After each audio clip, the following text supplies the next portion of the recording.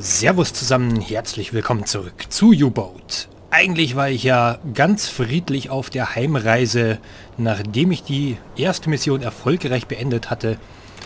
Allerdings ist die Situation, hat sich ein bisschen verändert. Also, wer die letzte Folge gesehen hat, ich bin ja nochmal auf, auf einen Konvoi gestoßen. Der hat auf jeden Fall hier zwei Zerstörer dabei, eine Korvette, zwei Korvetten, also vier Kriegsschiffe insgesamt. Das ist natürlich also eher prekär, würde ich mal sagen. Und den jetzt anzugreifen, halte ich für relativ unklug. Ähm, also mein erster Impuls ist natürlich abhauen. Allerdings muss ich sagen, also wir schauen uns das Ganze vielleicht erstmal an. Wir gehen erstmal auf Seerohrtiefe und dann überlegen wir mal, was wir mit dieser Situation anfangen. Also, erstmal abtauchen. Ich hoffe mal, dass die mich noch nicht gesehen haben. Das ist meine große Hoffnung. Und das kann ich natürlich auch nicht herausfinden. Ich weiß zwar natürlich, ich bin natürlich massiv sichtbar, dadurch, dass ich jetzt gerade noch über Wasser bin. Und die Kiste macht auch relativ viel Krach. Also heißt, die Chancen stehen schon ganz gut entdeckt zu werden, aber das ist schon noch eine relativ hohe Distanz zum Gegner. Wie viel haben wir denn hier? Kann ich das hier eigentlich ausmessen? Das weiß ich gar nicht. Okay, über drei Kilometer aktuell noch. Also mit ganz viel Glück haben die mich aktuell noch gar nicht gesehen. Also, schauen wir mal. Wechseln auf E-Maschinen. Dann setzen wir hier den Funker wieder an das, an das, an das Hydrophon. Jawohl. Ab in den Horchraum. Kommandant ist wo? Der ist schon am Angriffsperiskop. Torpedorohre sollten alle vier Stück geladen sein. Genau, das sieht schon mal ganz gut aus. Also wir sind schon handlungsfähig. Aber es ist natürlich das Spiel mit dem Feuer. Ähm, wir schauen uns die Sache erstmal im Periskop an, würde ich sagen. So. Einmal hier in den manuellen Modus gehen. Und schauen, ob wir die Gegner ausfindig machen können. Gehen erstmal auf 0 Grad und die müssten ja theoretisch hier irgendwie so ungefähr in dieser Richtung irgendwo sein.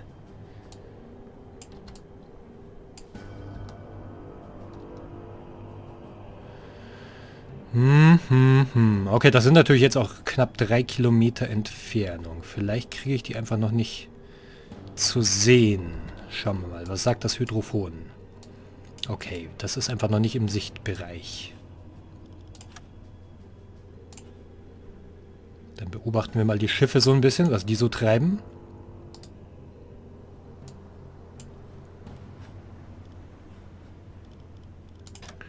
Wir gehen auf kleine Fahrt. Okay, der hier draußen, das wäre direkt eine Korvette. Der würde jetzt praktisch schon so ungefähr in meine Schussbahn reinfahren. In meine theoretische Schussbahn. Ich will noch nichts, äh, noch nichts verschreien. Dann hier drüben haben wir noch eine Korvette. Auf der Seite ein Frachter. Das ist aber auch ein interessanter Konvoi. 1, 2, 3 Frachter, 2 Zerstörer, 2 Korvetten. Also entweder sind das, ist, ist das halt einfach eher ein militärischer Konvoi oder das sind einfach verdammt wertvolle Frachter. Aber vier Kriegsschiffe. Das ist halt schon massiv. Herr Kaloy?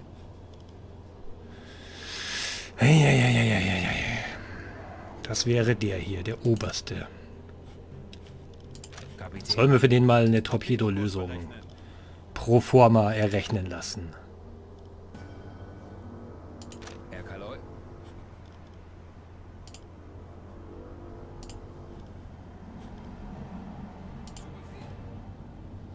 So, ich teile hier den beiden Kollegen erstmal jeweils einen Seemann zu, damit die ein bisschen effizienter werden.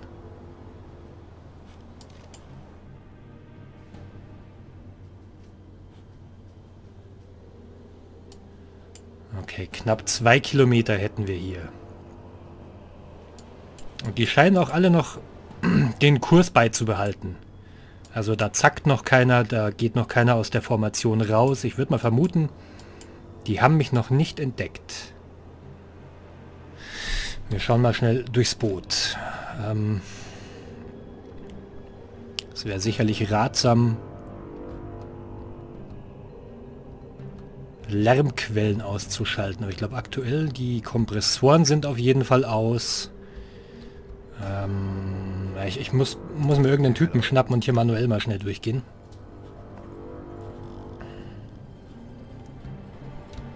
So, der will nicht aufstehen. Kann er sein? Doch, geht. Okay. Dann schalten wir auf jeden Fall mal den Kreiselkompass aus, damit der keinen unnötigen Lärm macht und stellen wir auf Blaulicht um. Einfach um den Sauerstoffverbrauch ein bisschen zu reduzieren. So, den schalten wir mal aus hier. Der ist aus, die Lenzpumpe. Und hier stellen wir mal auf blaues Licht um. In der Hoffnung, dass wir dann einfach ein bisschen länger Sauerstoff haben, weil man hat nicht allzu lange Sauerstoff, habe ich gesehen. Also ich würde mal sagen, so Pi mal Daumen eine knappe Stunde. Das heißt, wir können uns hier nicht allzu viel Taucherei erlauben. Das sollte jetzt relativ schnell vonstatten gehen alles. Oh, ich weiß echt nicht, ob das so eine gute Idee ist. Aber es ist einfach zu verlockend, dieser ganze Konvoi hier. Und selbst wenn ich jetzt hier nur ein Schiff rausschieße, Kriegsschiffe zu versenken, ich glaube, das gibt halt richtig fett Belohnung. Was sagt die Torpedolösung? Das ist bei 74 Prozent.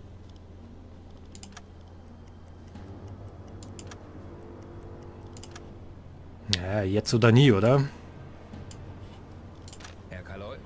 Ja, komm, wir machen das. Wir feuern die Torpedos ab, schauen, was passiert und dann können wir immer noch abtauchen. Richtig tief runtergehen. 93% ist die ähm, Ziellösung hier.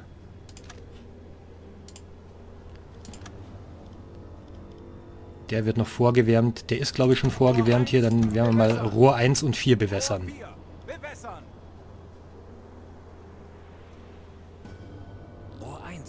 Ich habe echt ein bisschen Herzklopfen, merke ich gerade. So soll es doch sein. Und Feuer. So, beide alle sind im Wasser. Dann. Das ist der hier unten. Nein, keinen Kurs draufsetzen, bist du wahnsinnig. So, Zerstörer. Ja, bist du denn bescheuert? Ich will doch hier nur eine Torpedolösung errechnen. So, jetzt vielleicht klappt das ja noch auf die Schnelle. Ah, das wird wahrscheinlich nicht mehr funktionieren, weil dann könnte ich den hier auch noch unter Feuer nehmen, den zweiten, also den Zerstörer dahinter. Ja, das wird wahrscheinlich zu eng. Hier sind die Aale. Und das mit der Torpedolösung dauert natürlich eine ganze Weile. Wieso kann ich ihn eigentlich... Moment mal, ihn müsste ich doch auch noch eine Lösung errechnen lassen können. Dann tun die praktisch zusammen. Und dann geht das normalerweise ein bisschen schneller. Jetzt sind die also beide fleißig am Rechnen hier. Einmal der Kommandant am, am Angriffsperiskop und einmal der Heini am Hydrophon hier. Kapitän? Boah.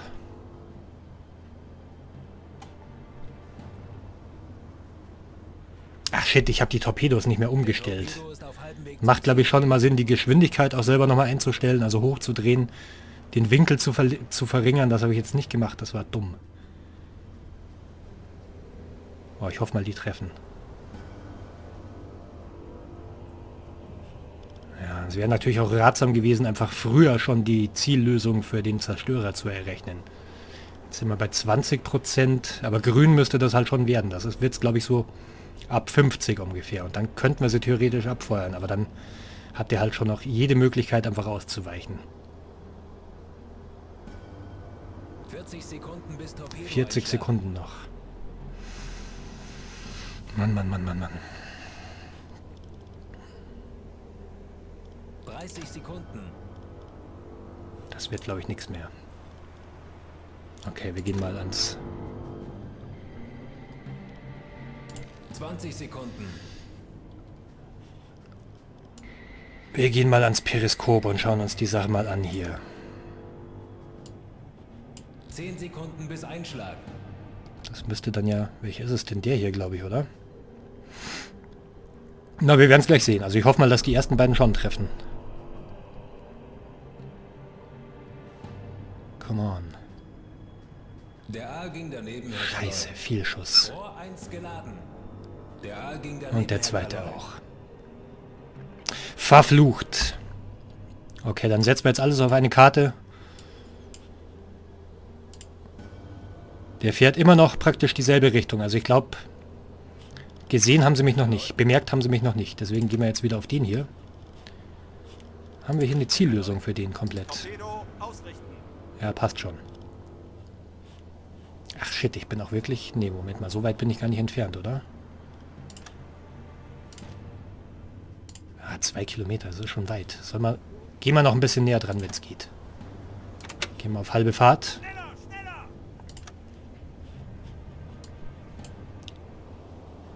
Wenigstens die Korvette versenken. Das wäre schon mehr, als ich mir erhofft hatte.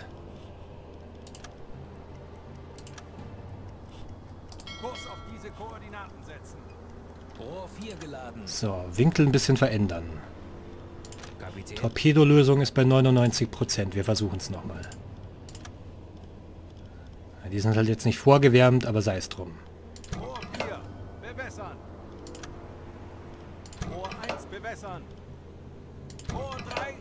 Wir, wir, gehen, wir gehen absolut in die Vollen hier. So, die Geschwindigkeit kann ich hier gar nicht verändern, aber den Winkel, den Streuwinkel. Warum ich die Geschwindigkeit nicht verändern kann, weiß ich nicht.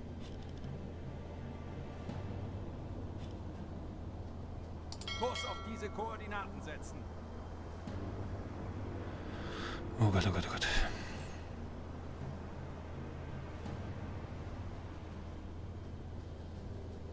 Bisschen näher dran noch.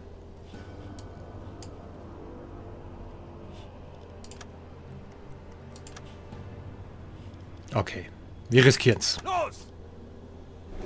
Was soll schon schief gehen? Komm, wenigstens einen versenken.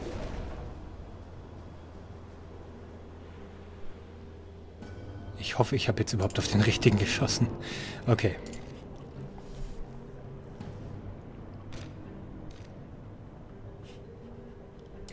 Schauen wir mal. Ich hebe das Periskop noch ein bisschen weiter aus dem Wasser. Ist natürlich auch Spiel mit dem Feuer. Also die können ja durchaus das Periskop entdecken.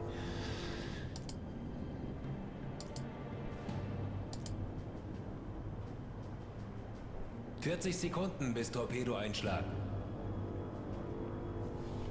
Sagt die Karte? 30 Sekunden. Drei Stück. Ja, wenn die jetzt daneben gehen, das ist ein teurer Spaß. 20 Sekunden. Sieht auf den ersten Blick ganz gut aus.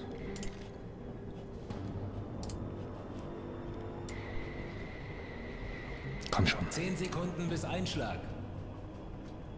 5, 4, 3. Torpedoversager. Treffer. Yes.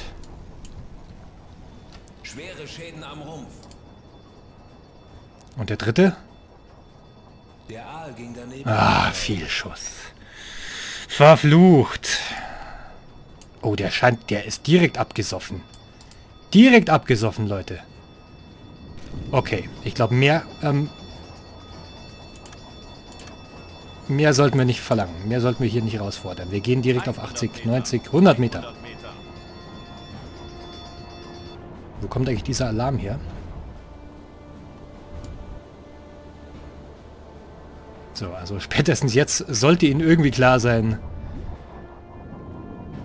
dass die Kollegen nicht alleine sind. Jetzt könnte es natürlich ungemütlich werden.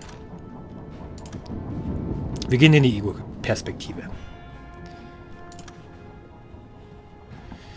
Jetzt, meine Herren, wird's ungemütlich. Wie sieht's aus? Sauerstoff, Batteriekapazität, Sauerstoffgehalt. Wir sind schon auf 75 runter. Das ist natürlich schon echt mies. Wir sind auf Schleichfahrt mit blauer Beleuchtung, vollständig verbraucht. Ein bisschen über eine Stunde. Eieiei. Wie sieht's aus?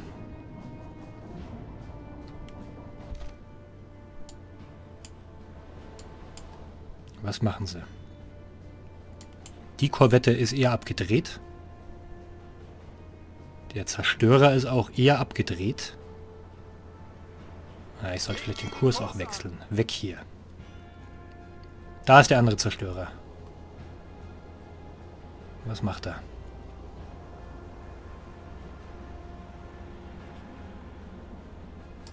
Wir drehen eher so ab, glaube ich.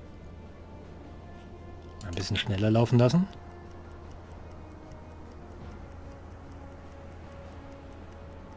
Die haben mich nicht entdeckt. Schaut euch das an.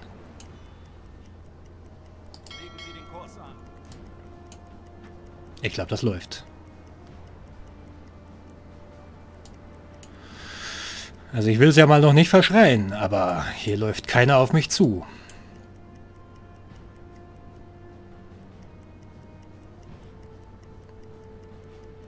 Das ist halt jetzt auch noch Anfang 41. Also ich würde mal vermuten, ich weiß das natürlich nicht auswendig und keine Ahnung, also aber ich glaube, Estik hatten die möglicherweise zu dem Zeitpunkt noch nicht. Sonst wäre ich ja schon längst verratzt. Vier Kriegsschiffe gegen ein U-Boot normalerweise, wenn die Estik anbaut hätten. Hätte ich keine Chance. Ja, die scheinen jetzt eher so ein bisschen auszuschwärmen, oder? Die Korvette macht sich irgendwie ganz vom Acker hier. Der Zerstörer ist in die Richtung gefahren. Vielleicht geht das wirklich gut. Und wir sind knapp 100 Meter unter der Oberfläche.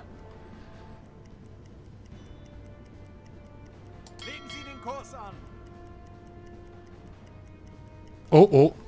Der hat jetzt aber gerade hier rapide umgedreht. Wir gehen noch tiefer. Und wir gehen auf Schleichfahrt.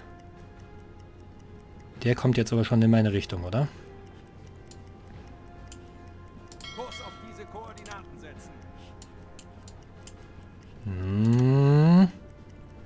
Sieht doch ganz gut aus. Ich glaube, die nehmen jetzt alle wieder ihren ursprünglichen Kurs auf. Kann das sein?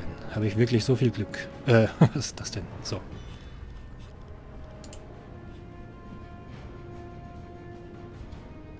Na, Männer. Alles klar. Ganz ruhig, Männer. Nur nicht die Nerven verlieren.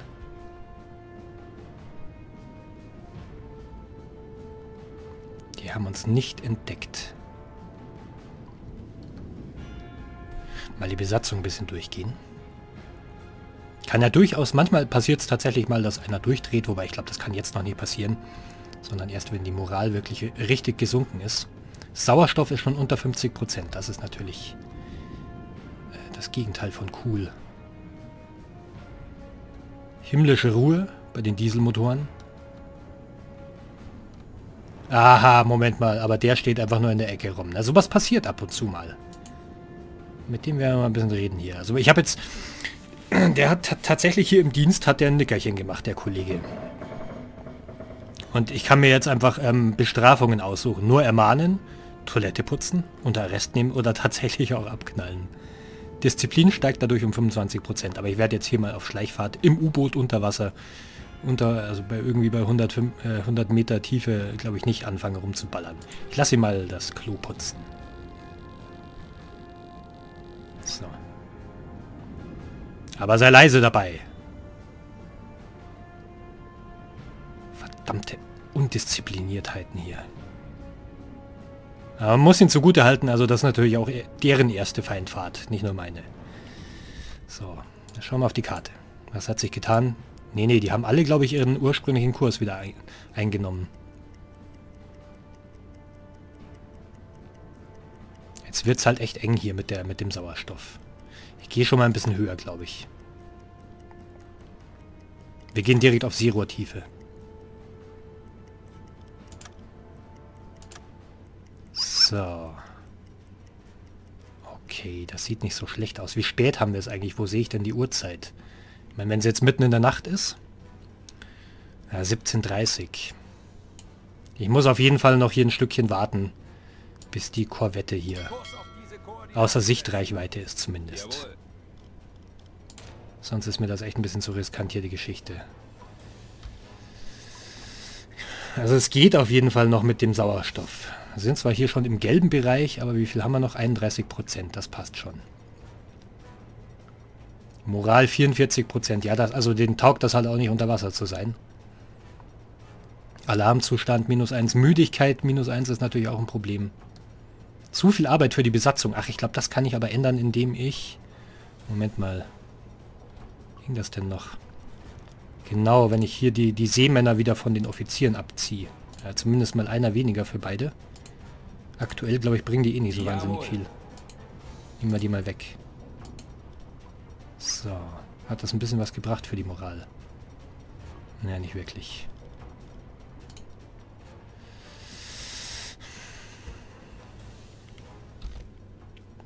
Wie schaut's aus?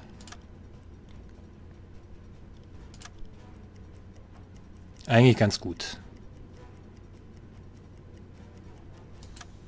So, ich würde mal sagen, wir können es riskieren, wieder aufzutauchen. Und dann aber wirklich ab nach Hause.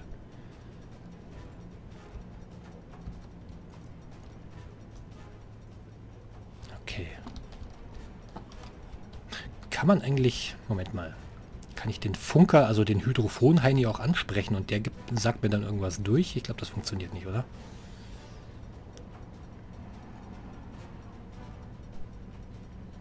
Nochmal rundhorchen, Kollege. Na gut, das wird schon passen. Ich würde mal sagen, wir sind aus dem Gerübsten raus. Auftauchen. Tanks anblasen! Schreit da immer rum, der Kollege. So, wo ist der Tiefenmesser? Okay, wir sind gleich oben.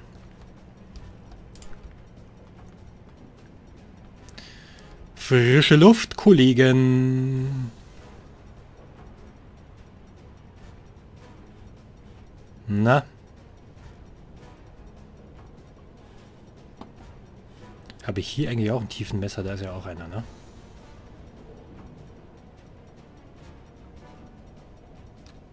Wechseln auf Dieselmotor! So, jetzt sind wir oben. Okay, Turmlug ist geöffnet.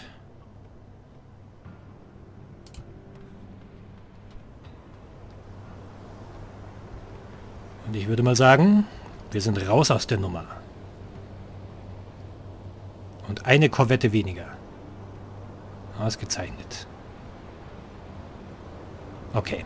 Rückmarsch. Rückmarsch, Männer. Kleiner Landurlaub, den habt ihr euch redlich verdient. Wir besetzen mal das Funkgerät wieder und setzen Kurs auf La Rochelle. Sehr schön. Legen Sie den Kurs an. Zu Befehl. So, wir haben ja noch ein paar Kilometer vor uns. Kleines Intermezzo. Kurs auf diese Koordinaten setzen. Aber wie gesagt, also ich glaube, dass die halt einfach ihr Estig noch nicht an Bord haben, um diese, um diese Kriegszeit, um diese Jahreszahl. Anfang 41. Sonst hätten wir ja keine Chance gehabt. Also wir wären zumindest, hätten die uns irgendwie angepeilt und garantiert mit Wasserbomben angegriffen. Das wäre nicht so gut ausgegangen normalerweise. Also ich glaube... Ja, bloß weg hier. Fünffache Geschwindigkeit. Und Meldung absetzen.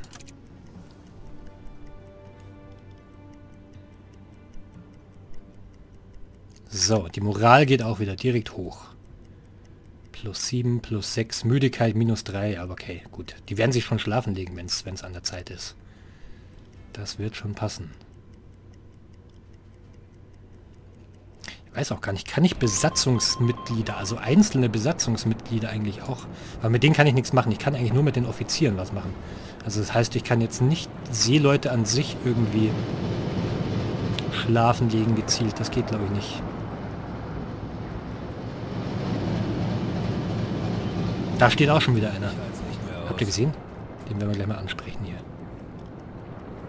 So geht's ja nicht. Ah, wer ist denn wach? Der hier. Herr Kaloi? Der verlässt mal seinen Posten. Also ich denke auch nicht, nochmal einen Angriff zu fahren jetzt auf dieser Fahrt. Deswegen können wir den auch eigentlich direkt von seinem, von seinem Torpedoposten abziehen, denke ich mal. Äh, hier können wir wieder weißes Licht anschalten. Die spielen Karten, auch gut für die Moral. So, wenn sie mich bitte mal durchlassen würden. Mmm, yummy. Das sieht aber fantastisch aus, was du da kaufst. So, Kollege. Der kriegt... Der darf auch Ein Matrose der. Kriegsmarine ist stets wachsam.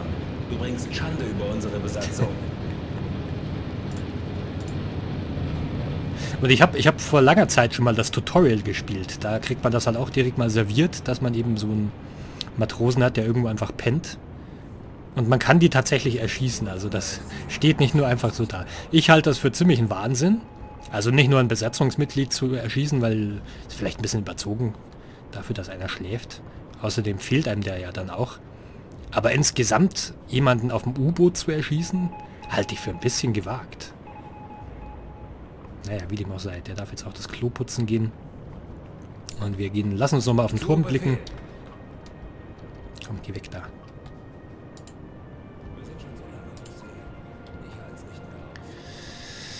So.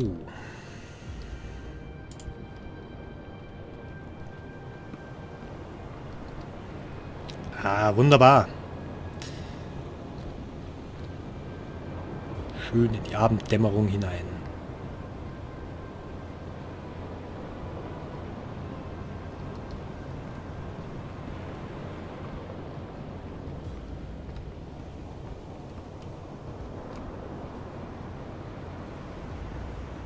Ah, Schon nett gemacht, oder? Kann man sich echt nicht beschweren. Für ein Early Access Spiel, was noch längst nicht fertig ist, ist das wirklich schon eine richtig solide Nummer. Okay. Blick auf die Karte. Ich denke, wir können beschleunigen. Und ich denke, wir müssen auch auf den Diesel keine, keine Rücksicht mehr nehmen. Wir machen direkt große Fahrt. Und verziehen uns. So, sehe ich denn eigentlich, was ich jetzt alles veranstaltet habe? Das sind die ganzen Funksprüche. Selbst wenn man Schornsteinrauch entdeckt und den Funkspruch absetzt, macht er schon 150 Punkte. Dann das Operationsgebiet erreicht, die Patrouille abgeschlossen, Transport entdeckt. Aber die Abschüsse, wo stehen denn die Abschüsse? Muss ich vielleicht mal ins Kriegstagebuch schauen, vielleicht steht das da drin. So, machen wir mal hier Schnellfahrt, Schnellreisefunktion.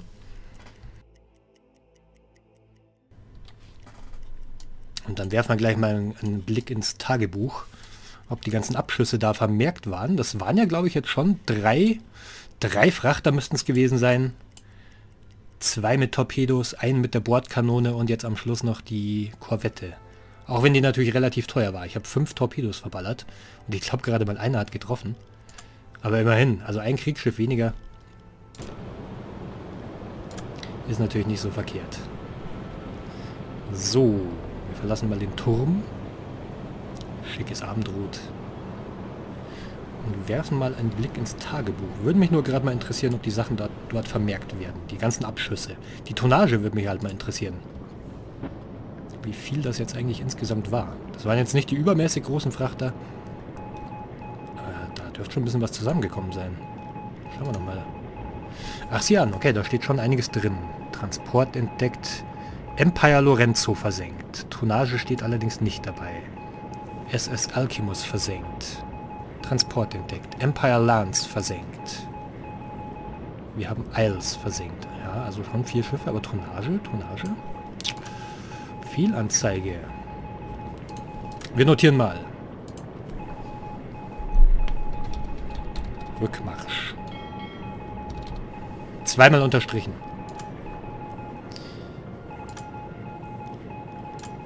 Sehe ich das wirklich nicht, die Tonnage? Würde mich brennend interessieren. Nö.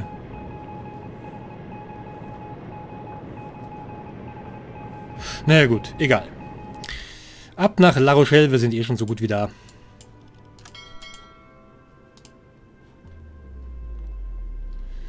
Gebiet wird betreten.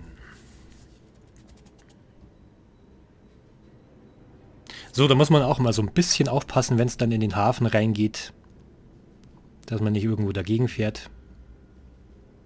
Was mir durchaus auch schon passiert ist.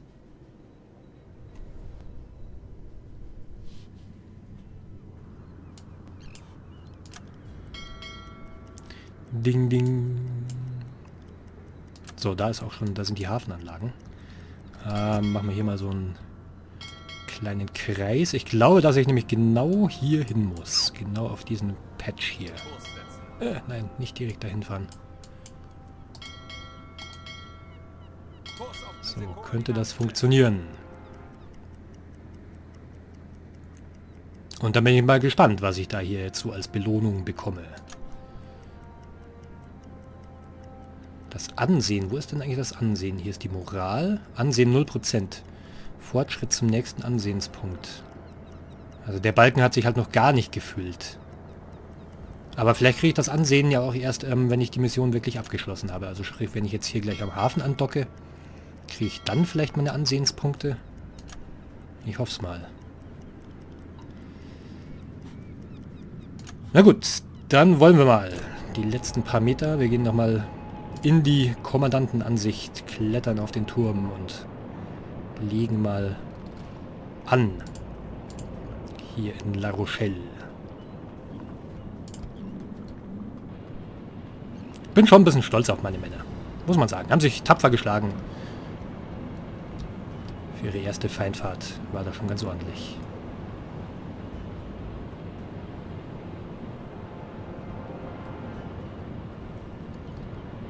Und die Klamotten sind schon auch cool, so nebenbei bemerkt. Also die sind ja alle ein bisschen individuell gekleidet. Nicht so einheitlich, haben nicht alle dieselbe Uniform an.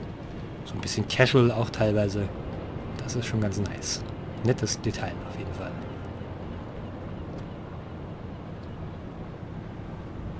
So. Hier kann ich keine Zeitkompression machen. Aber hier.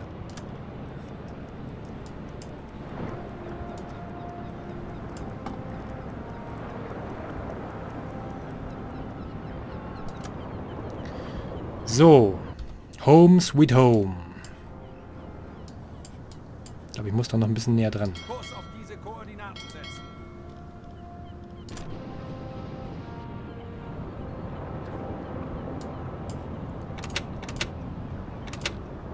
Ich glaube, ich kann auch schon stoppen.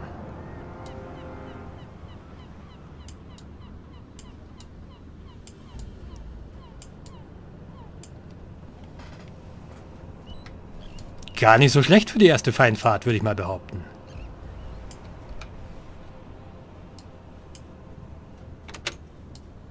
Schneller, schneller! So, dann mal rein in die gute Stube hier. Das Andockmanöver müsste von alleine über die Bühne gehen, wenn ich hier in der richtigen Position bin.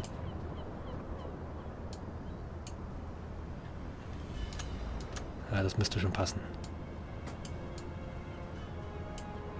So, hier noch ein bisschen angekratzt vorne. Okay. Wie schaut's aus? Haben wir die Patrouille jetzt erfolgreich abgeschlossen, will ich doch hoffen.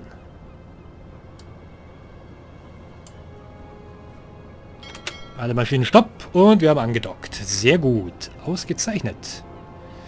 Dann, ähm, steigen wir mal aus und äh, quatschen mal mit den Leuten hier.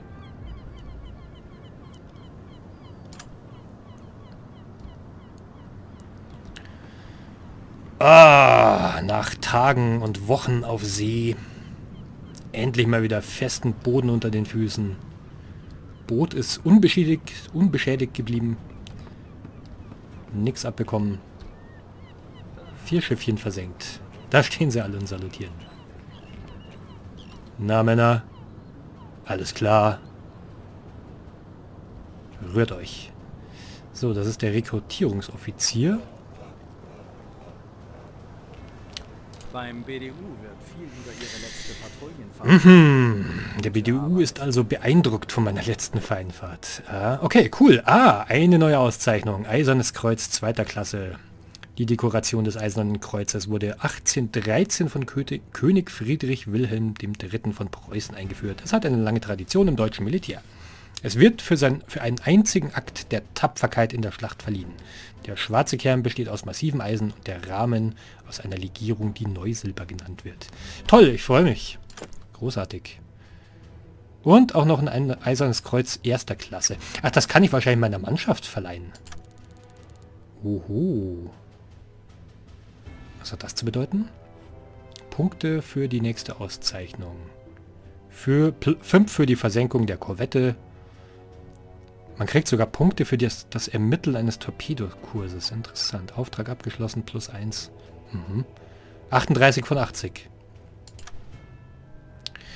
Belohnungen plus 20.000. Das sind, glaube ich, die Ansehenspunkte, oder? Und ich habe sogar einen Offizier dazu bekommen, oder?